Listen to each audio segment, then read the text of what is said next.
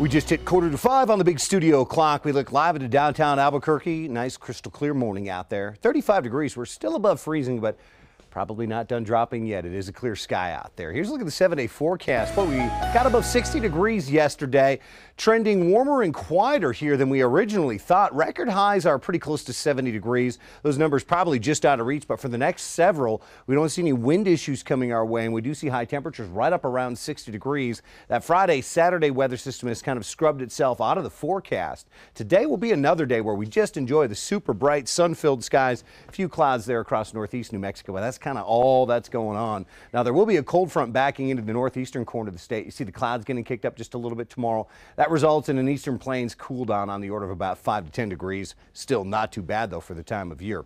Here's when things start to change. The next weather system pushes into the state. Uh, it hits the four corners the hardest in northern New Mexico. This is Monday of next week, though, with the stronger winds and the wintry mix and rain and snow shower chances. Tuesday, temperatures do take a bit of a step down in spots, and we can't rule out some snow for southwest Colorado and northern New Mexico. Again, this is early next week with the precipitation chances and those strong winds developing out on the eastern plains. But I'll tell you what, up until that weather system arrives, we just have it locked into cruise control with some super sweet skies overhead every day through Sunday. Marissa? It looks lovely. Thank you.